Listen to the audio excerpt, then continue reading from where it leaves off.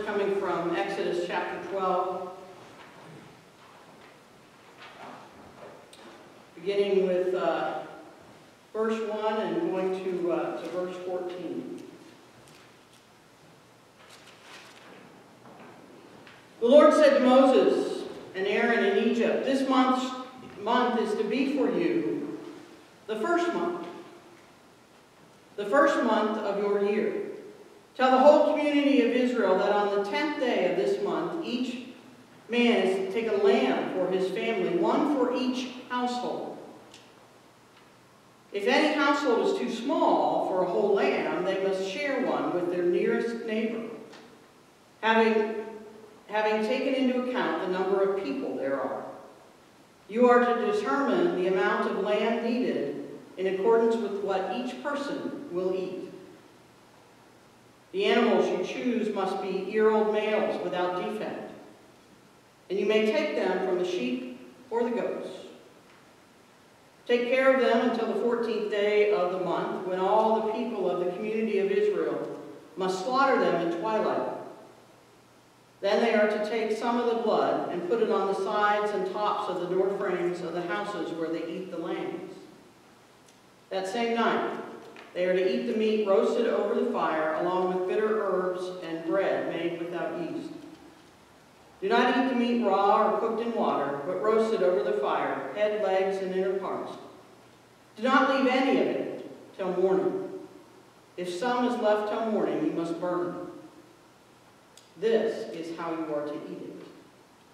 With your cloak tucked into your belt, your sandals on your feet, and your staff in your hand. Eat it in haste. It is the Lord's Passover. On that same night I will pass through Egypt and strike down every firstborn, both human and animal. And I will bring judgment on all the gods of Egypt I am the Lord. The blood will be a sign for you on the houses where you are. And when I see the blood, I will pass over you. No destructive plague will touch you when I strike Egypt. This is a day you are to commemorate. For the generations to come, you shall celebrate it as a festival to the Lord, a lasting ordinance and from the prophet Jeremiah.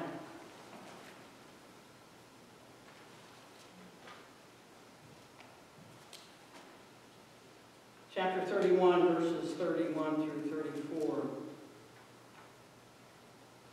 The time is coming, declares the Lord, when I will make a new covenant with the house of Israel and with the house of Judah. It will not be like the covenant I made with their ancestors when I took them by the hand to lead them out of Egypt, because they broke my covenant, though I was a, a master to them, declares the Lord. This is a covenant I will make with the house of Israel after that time, declares the Lord. I will put my law in their minds and write it on their hearts. I will be their God, and they will be my people. No longer shall they teach one another or say to each other, Know the Lord for they shall all know me, from the least of them to the greatest, declares the Lord. For I will forgive their wickedness and will remember their sins no more. The word of God for the people of God. Thanks be to God. You'll now join with me in Psalm 116 if you find it in your bulletin. I love the Lord who has heard my voice and my supplications, and has inclined his ear to me whenever I called. The snares of death encompassed me. I suffered distress and anguish. Then I called on the name of the Lord. O Lord, I beseech you, save my life. Gracious is the Lord and righteous. Our God is merciful. The Lord preserves the simple. When I was brought low, the Lord saved me. Return, O my soul, to your rest. For the Lord has dealt bountifully with you. For you have delivered my soul from death, my eyes from tears my feet from stumbling. I bow before the Lord the land of the living. I kept my faith even when I said I am greatly afflicted. I said in my consternation, all humans are hope. What shall I return to the Lord for all my benefits? I will lift up the cup of salvation and call on the name of the Lord. I will pay my vows to the Lord in the presence of all his people. Precious in the sight of the Lord is the death of his faithful ones. O Lord, I am your servant. I am your servant, the child of your handmaid. You have loosed my bonds. I will offer to you the sacrifice of thanksgiving and call on the name of the Lord. I will pay my vows in the Lord in the presence of all his people. In the courts of the house of the Lord, in your midst, O Jerusalem, praise the Lord. Praise the Lord. Now, some New Testament lessons uh, from 1 Corinthians chapter 11, verses uh, 23 through 26. For I received from the Lord what I have also passed on to you. The Lord Jesus, on the night he was betrayed, took bread, and when he had given thanks, he broke it and said, This is my body, which is for you. Do this in remembrance of me. In the same way, after supper, he took the cup, saying, This cup is the new covenant in my blood. Do this whenever you drink it in remembrance of me. For whenever you eat this bread and drink this cup, you proclaim the Lord's death until he comes. And from the Gospel of Mark, 14th chapter, verses 12 through 26. On the first day of the Feast of Unleavened Bread, when it was customary to sacrifice the Passover lamb, Jesus' disciples asked him, Where do you want us to go and, and make preparations for you to eat the Passover? So he sent two of his disciples, telling them, Go into the city, and a man carrying a jar of water will meet you. Follow him. Say to the owner of the house he enters, the teacher asks, Where is my guest room? Where I may eat the Passover with my disciples. He will show you a large upper room, furnished and ready. Make preparation for us there. The disciples left, went into the city, and found things just as Jesus had told them. So they prepared the Passover. When evening came, Jesus arrived with the twelve. While they were reclining at the table eating, he said, I tell you the truth. One of you will betray me. One who is eating with me. They were saddened, and one by one they said to him, Surely not I. It is one of the twelve. Jesus replied, One who dips the bread into the bowl with me. The Son of Man will go just as it is written about him. But woe to that man who betrays the Son of Man. It would be better for him if he had not been born. While they were eating, Jesus took bread, gave thanks, and broke it, and gave it to his disciples, saying, Take it, this is my body. Then he took the cup, gave thanks, and offered it to them. And they all drank from it. This is my blood of the covenant, which is poured out for many, he said to them. I tell you the truth, I will not drink again of the fruit of the vine until that day when I drink it anew in the kingdom of God. When they had sung a hymn, they went out to the Mount of Olives. Again, the word of God for the people of God. Thanks be to God.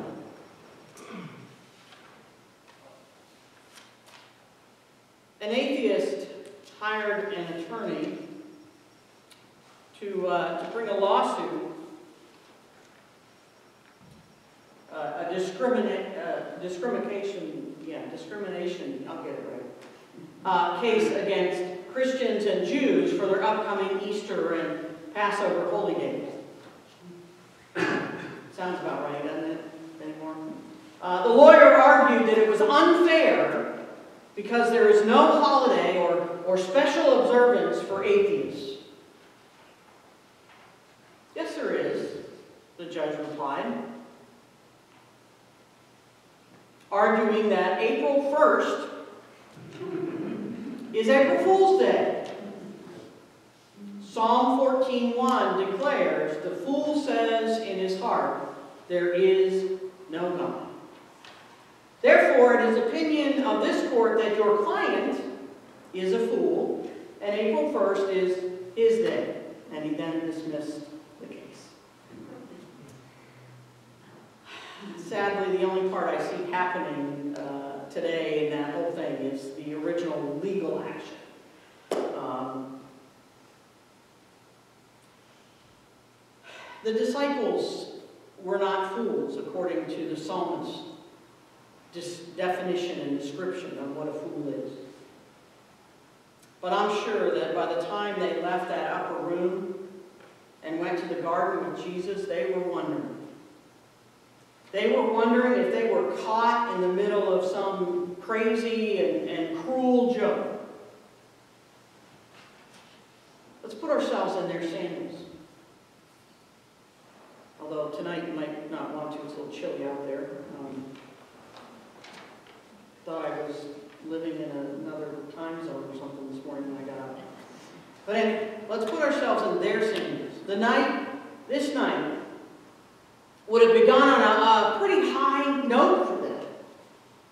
Here they were, gathering with Jesus to celebrate the high holy meal of the Passover, and they were in Jerusalem. This is a feast that remembers God's mercy shown to the Hebrew people. What a, a, privilege for them to be with Jesus, the one they, they believed to be the Christ, the, the Messiah of God, and on such a, a holy day. What a blessing for them, and, and, a, and a great time of celebration for them. This only continues what has already been a, a pretty awesome week. You know, just a few days ago, Jesus had been welcomed into the sacred city, the holy city of Jerusalem, with a parade. A parade. The crowds had greeted him and they waved the palm branches and shouted, Hosanna, blessed is he who comes in the name of the Lord. What a sight it was. And right, right in front of those religious leaders who were so against Jesus. What a, what a glorious sight. They were getting excited. And even the donkey that he was riding on, oh my, the donkey that he rode in the, in the parade was a, a colt that had never been ridden. And the way they found it, oh my, it only shows how right those crowds were. You see, before the parade, as they, they came upon the Mount of Olives, Jesus had, had sent two of them, two of the disciples ahead into the village. There he said that they would find a colt tied that had never been ridden. And they were to untie it and bring it. And if anyone asked, which they did, what they were doing, They were to just say, the Lord needs it. Everything had happened just as Jesus had said. What a day. As if things couldn't get any better, had, gone to the temple that week too, and, and he had chased out all the, the money changers and the merchants. He told them, It is written, my house will be a house of prayer, but you have made it a den of robbers. What, what a sight that was. What a sight that was. Table going everywhere, the money going everywhere, the, the sacrificial or sacrificial animals going everywhere. Oh my, what a sight. And again, it was right under the noses of those religious leaders that didn't like Jesus. You know, the disciples' excitement would have been building as they, they gathered, gathered together around that table in the upper room with Jesus, a, a place that had been found in much the same way as the donkey. Jesus sends Peter and John to make preparations, telling them, You're going to go into the city, you're going to find a man carrying a water jar. How random does that seem? You're to follow him and tell the owner of the house that he enters. The teacher asks, Where is the guest room? Where's the upper room where I may eat the Passover with my disciples? Owner leads them to this room without another word. And it, all happened just like Jesus had said. So here they are, sitting around the table, waiting to share the Passover with Jesus, the Christ of God. This week, it just keeps getting better and better. They can hardly wait to see what happens next. Then the real craziness begins. Jesus wraps a towel around his waist, and he begins doing the disgusting task of washing their feet. A task that, that only the lowliest of people did because everybody's feet were walking through sewage everywhere in the streets. You know, we think people's feet smell after they take their shoes and socks off. Imagine those feet. The Messiah of God is washing their feet. And he tells them that, that he must wash their feet or they, they can have no part of him. And in talking with, with Peter, Jesus says that a clean person only needs to have their feet washed. And he, Jesus tells all of them that he has set an example for them.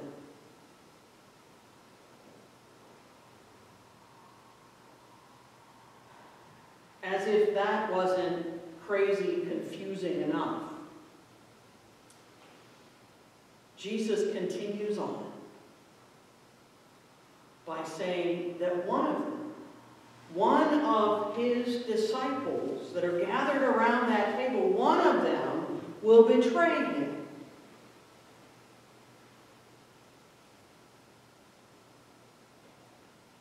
And after all that they had witnessed in, in their three years of ministry with Jesus, how could any of them possibly betray him? They all, they all stare in disbelief at one another and, and at Jesus wondering who it is. Each one hoping he's not talking about them.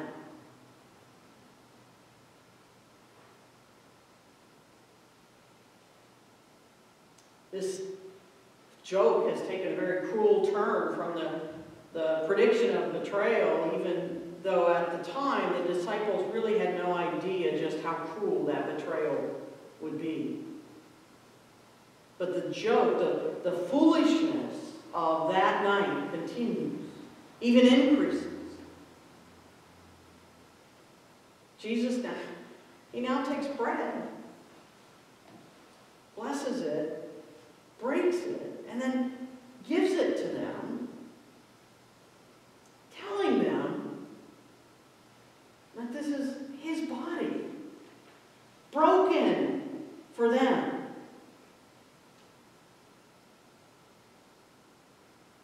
They are to take and eat in remembrance of him.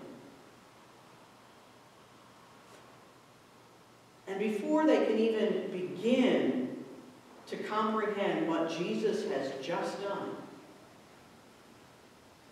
he picks up the cup. He blesses it and he gives it to them, telling them to take and drink. That this is his blood of the new covenant poured out for many forgiveness of sins. They are to do this in remembrance of him. Wow. How crazy! How crazy! Jesus is sitting right here with them and he's talking about remembering his body that was broken and his blood that was shed. Has he gone mad?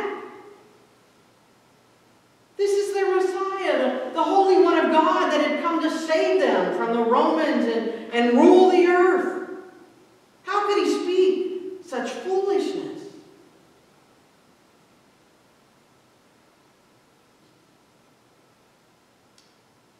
This cruel foolishness had started when Jesus washed their feet before they ate the Passover meal. And it had been snowballing ever since. Appropriate word to use today. None of it made any sense. And neither did the events that followed. Their Messiah should not have been arrested and tried, especially in a kangaroo court. He should not have been mocked or beaten. And the most foolish thing of all, their Messiah should not have been crucified. Jesus was God's Holy One, God's Messiah. None of these things fit.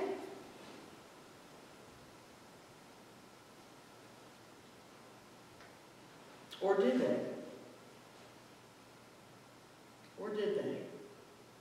I guess it all depends on whose Messiah we're talking about. The disciples were talking about their version of the Messiah. Someone that God would send to physically overthrow the Romans and establish God's kingdom on earth. This was going to be an earthly kingdom that would physically save them from the rule of Rome and any of their other enemies. But this earthly, kingly Messiah is not what God had in mind. God's Messiah would save them not by, by physically overthrowing their enemies,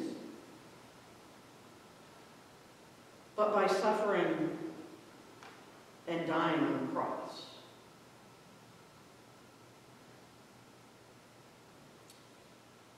Sounds like foolishness, doesn't it? A king suffering and, and dying for his people. Doesn't really sound like, like much of a king, at least not by our earthly standards. Yet it is exactly this foolishness of God that the disciples came face to face with on that night so long ago. That night they began to learn just how foolish God's wisdom is to humanity. As they went from the joy and excitement of celebrating the Passover feast with Jesus, the Messiah, in the holy city of Jerusalem, to from that high to the to being told to remember his his body and, and his broken body in the bread and, and his shed blood in the cup. They truly had to have wondered if they were caught up in some cruel joke. The reality that they gradually began to face that night is the same reality that we face today. A reality that the Apostle Paul states so very well in, in 1 Corinthians chapter 1, beginning with verse 18 and going to 25. Listen to these, these words. For the message of the cross is foolishness to those who are perishing, but to us who are being saved, it is the power of God. For it is written, I will destroy the wisdom of the wise, the intelligence of the intelligent I will frustrate. Where is the wise one? Where is the scholar? Where's the philosopher of this age? Has God not made foolish the wisdom of the world? For since in the wisdom of God the world through its wisdom did not know him, God was pleased through the foolishness of what was preached to save those who believe. Jews demand miraculous signs, and, and Greeks look for wisdom. But we preach Christ crucified, a stumbling block to Jews and, and foolishness to Gentiles. But to those whom God has called, both Jews and Greeks, Christ, the power of God and the wisdom of God. For the foolishness of God is wiser than human wisdom, and the weakness of God is stronger than human strength.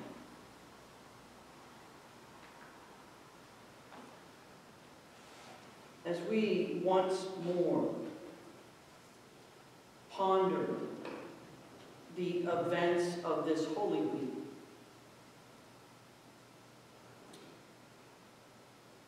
May we have eyes to see more clearly the foolishness of God.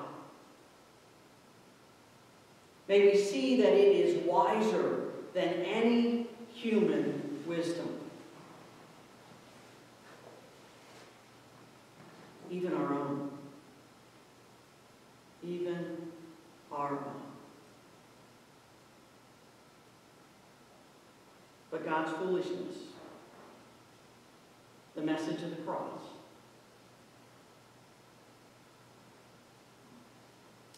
Is the power of God for those who believe. May we believe. And may we come be a fool for Jesus Christ.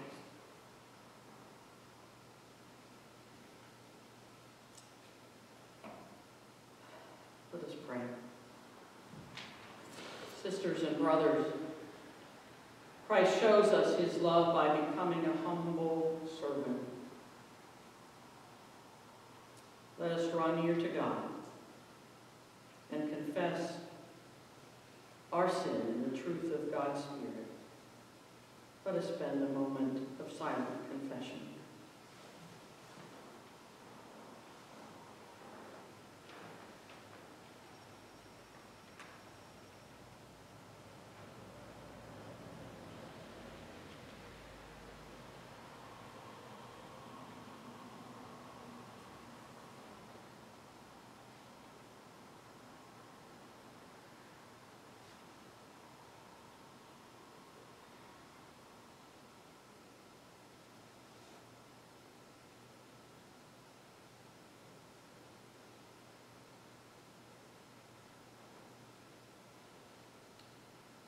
Pray together. Most merciful God, we, your church, confess that often our spirit has not been that of Christ, where we have failed to love one another as he loves us, where we have pledged loyalty to him with our lips and then betrayed, deserted, or denied him. Forgive us, we pray. And by your Spirit, make us faithful in every time of trial. Through Jesus Christ our Lord. Hear these words of pardon. Who is in a position to condemn? Only Christ. But Christ suffered and died for us, was raised from the dead and ascended on high for us, and continues to intercede for us. Believe the good news. In the name of Jesus Christ, you are forgiven. In the name of Jesus Christ, you are forgiven. Let us pray. Lift up our hearts and give thanks to God. Blessed are you, O God, who with your word and Holy Spirit created all things and called them good. In Jesus Christ, your word became flesh and dwelt among us. Through Jesus' suffering and death, you took upon yourself our sin and death and destroyed their power forever. You raised from the dead this same Jesus who now reigns with you in glory and poured upon us your Holy Spirit, making us the people of your new covenant. On the night before meeting with death, Jesus took bread, gave thanks to you, broke the bread, gave it to the disciples, and said, Take, eat. This is my body, which is given for you. Do this in remembrance of me.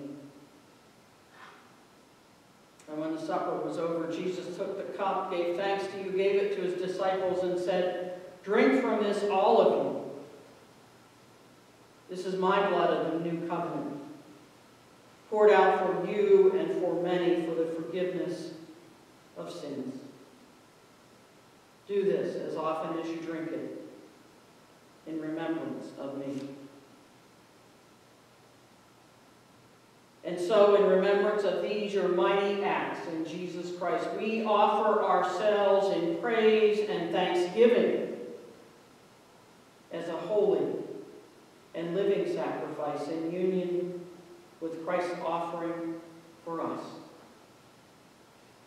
Pour out your Holy Spirit on us gathered here and on these gifts, that in the breaking of the bread and the drinking of this wine we may know the presence of the living Christ and be renewed as the body of Christ for the world, redeemed by his blood until Christ comes in final direct victory and we feast at your table forever. Through Christ, with Christ, in Christ. In the unity of the Holy Spirit, all honor and glory is yours, Almighty God, now and forever. Amen. And now, with the confidence of the children of God, let us pray as we have been taught.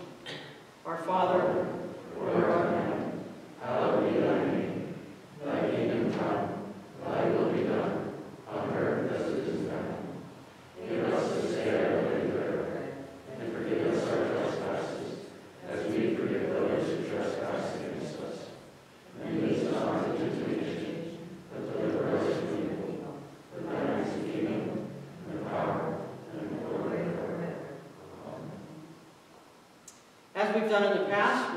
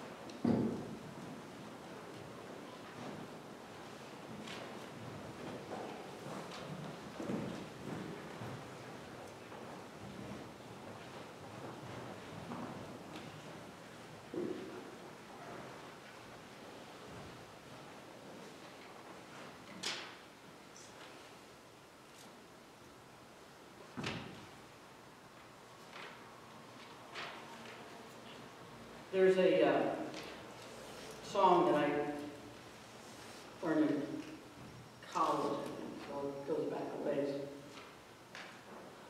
Um, It was uh, written by Michael, written and performed by Michael Card. And it's entitled God's Own Fool. And he bases it on this passage from First Corinthians. He actually had, had people that uh, were angry with him and called into the radio shows and stuff that was playing that, is, that song. Because, How dare you talk about Jesus as God's own fool? Um, uh, and, and talk about God as foolish, you know, and um, they, they totally, he says, no matter how I tried to explain it, they just didn't get it. Um, and I think there's a lot of that, a lot of that in our world that we need to keep, keep showing them God's wisdom by showing them God's love. Because as we share what the world calls foolishness, they will come to know the love of God, just as we have come to know the love of God. And uh, as we share, humbly share God's love with the world, their hearts will be changed. And that is the way God calls us to live. That's why Jesus came. That's why suffered, that's why he died, and that's why he rose again. So may we, as we continue to journey to the cross and to the empty tomb, may our hearts be touched by the great love of God shown to us in Jesus Christ, and may we feel so blessed and humbled by that gift that we go out into the world and share it. Let us go in God's peace and God's mercy and God's love. And all the children of God said, Amen. You're all welcome to uh, come to the Good Friday service tomorrow at 7. Still room for uh, lots of readers for anyone that would like to participate.